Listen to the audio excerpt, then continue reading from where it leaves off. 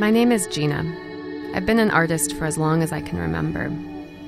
My earliest memories are of sitting with a box of crayons and a stack of paper at my family's kitchen table. I currently live and work as a professional illustrator in Brooklyn, New York, in a tiny one bedroom apartment where I can usually be found painting.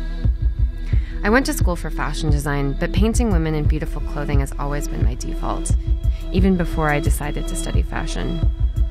I love how versatile individual style can be, and I'm fascinated by the many ways we choose to express ourselves as human beings, and how that can evolve and change over the course of a lifetime. My best friend Andy is a tarot reader, and she introduced me to the practice a few years ago. But it wasn't until I experienced a particularly rough personal year that I began to see the cards from a broader perspective, as an opportunity for self reflection and a genuine art therapy tool. I was intrigued by their potential to open up conversations that we often avoid and to give us a moment in our increasingly chaotic world to ourselves.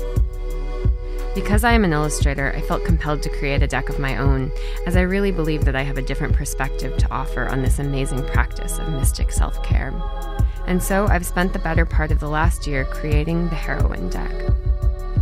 My hope in making this deck is to offer a unique take on the cards, as well as to preserve a moment in time by capturing the individual style of my generation on a more personal level. I've actually painted a few of my friends into the deck, who I feel embody some of the energy of these cards. But my ultimate hope is that people from every walk of life can find themselves somewhere in these cards. I consider this project a love letter to tarot, to women, and to individual style, which I also think has the power to transform our perceptions of the world around us and affect how we are perceived.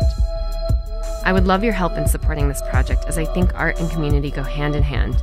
Because what is art without others to experience it with us?